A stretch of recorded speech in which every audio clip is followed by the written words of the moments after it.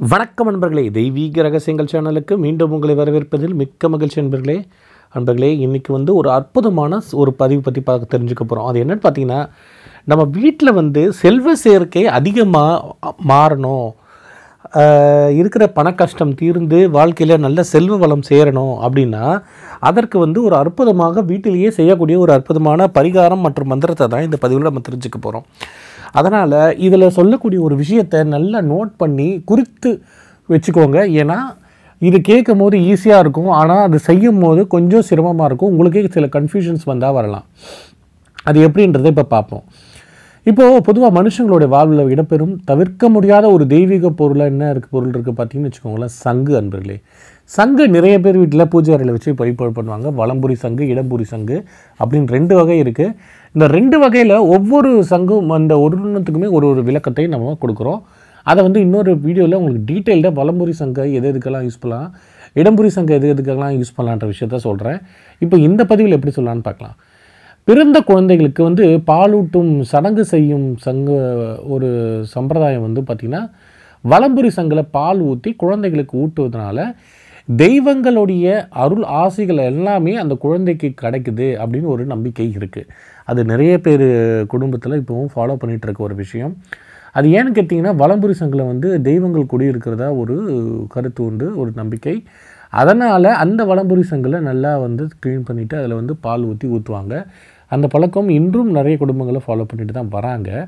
பல அற்புதமான இது போன்ற நன்மைகளை பெற்றிருக்கும் இந்த சங்கில் ஒரு வகையான வளம்புரி சங்கு கொண்டு செய்யதால் வீட்டில் வந்து செல்வ சேர்க்கை அதிகரிக்கும் அப்படின்ற ஒரு நம்பிக்கை இருக்குது நண்பர்களே. அது நிறைய நண்பர்கள் இதை செஞ்சு பலனும் பெற்றிருக்காங்கன்றது இன்னொரு ஆச்சரியமான விஷயம்.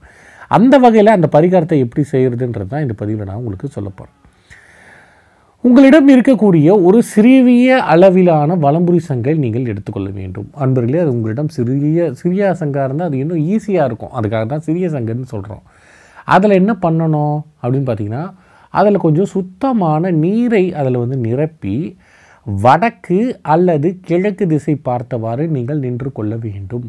அன்பர்களே வடக்குன்னா நார்த்து கிழக்குனா ஈஸ்ட்டு ஏன்னா இந்த திசைகள் தெரியாத அன்பர்களுக்காக தான் இந்த இங்கிலீஷில் ஒரு தடவை சொல்கிறேன் ஓகேங்களா?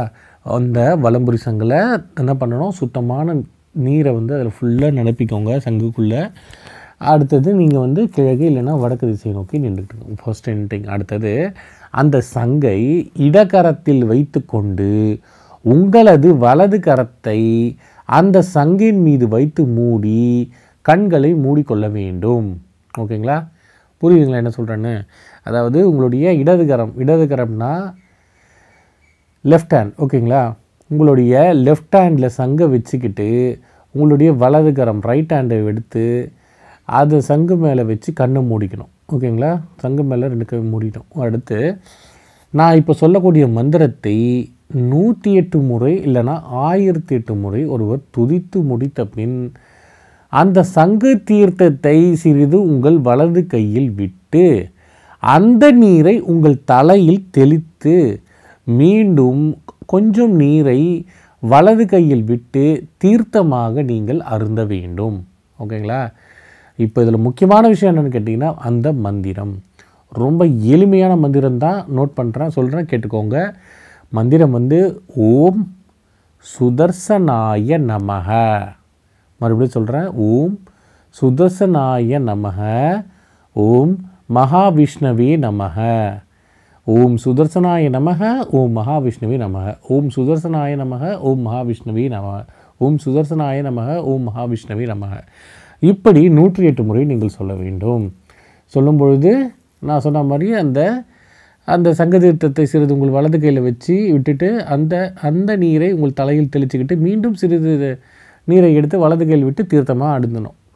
சரி இப்படி பண்ணுறதுனால நமக்கு என்ன நன்மைகள் கிடைக்கும் அப்படின்னு நீங்கள் கேட்டிப்பீங்க கேட்பீங்க. அது என்னென்னா இந்த சங்கு பரிகாரத்தை செய்த பிறகு நீங்கள் வெளியில் செய்கில் வெளியில் செல்கின்ற எந்த ஒரு காரியமும் உங்களுக்கு சாதகமாக முடியும். ஓகே? அது என்ன காரியமாக இருந்தாலும் சரி.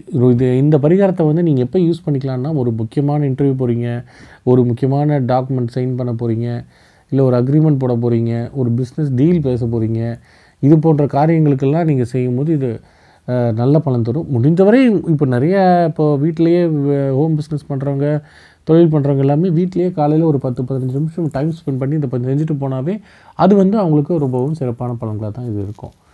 முயற்சிகள் அனைத்துமே வெற்றி பெறக்கூடிய ஒரு சூழ்நிலை ஏற்படும். உங்கள் உடம்பு மற்றும் மனசில் வந்து ஆன்மீக பலம் ரொம்ப அதிகரிக்கும் அதுதான் ரொம்ப முக்கியமான விஷயம். உங்கள் உடலும் ஆன் ஆன்மீக பலம் இந்த மனமும் நல்லா இருந்தாவே போதும். நம்மளால் எல்லா காரியங்களும் சாதிக்கக்கூடிய ஒரு சந்தர்ப்பம் நமக்கு ஏற்படும்.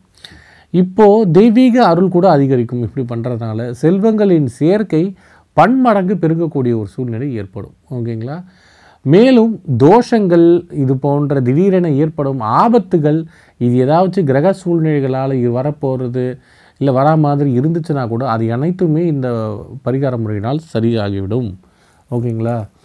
அடுத்தது இந்த இந்த இந்த சங்கு பரிகார முறையில் மிகவும் சிறந்த பலன்களை பெற சங்கு தீர்த்தத்தில் ரெண்டு துளசி இலைகளை விட்டுட்டு அந்த நீரை நீங்கள் அப்படியே அருந்துவது பலன்கள் பன்மடங்கு பெருகச் செய்யும். ஓகேங்களா? அதனால் அந்த சங்கில் தண்ணி விட்டு விடும் விடும்போது ரெண்டு இலை கிள்ளி துளசி இலையை அதில் போட்டிங்கன்னா அது இன்னும் சூப்பரான பலன்களாக உங்களுக்கு கொடுக்கும். நண்பர்களே இது போன்ற இன்னும் நிறைய தகவல்கள் வந்து வர காத்துக்கிட்டு இருக்கு அடுத்தடுத்து நம்ம பதிவில். இந்த வீடியோ உங்களுக்கு பிடிச்சிருந்தா லைக் பண்ணுங்கள் உங்கள் நண்பர்கள் மற்றும் உறவினர்கள் யாராச்சும் இருந்தாலும் அவர்களுக்கு இந்த சங்கு பரிகாரத்தை வந்து அவர்களுக்கு ஷேர் செய்து அவர்களும் பலன் பெற அளவுக்கு நீங்கள் இந்த வீடியோவை ஃபார்வர்ட் பண்ணுங்கள் மறக்காமல் நம்ம சேனலை சப்ஸ்கிரைப் பண்ணுங்கள் சப்ஸ்கிரைப் பண்ணாத நேர்கள் இது போன்ற நிறைய தகவல்கள் அற்புதமான தகவல்களை நம்ம பதிவில் போட்டிருக்கோம்.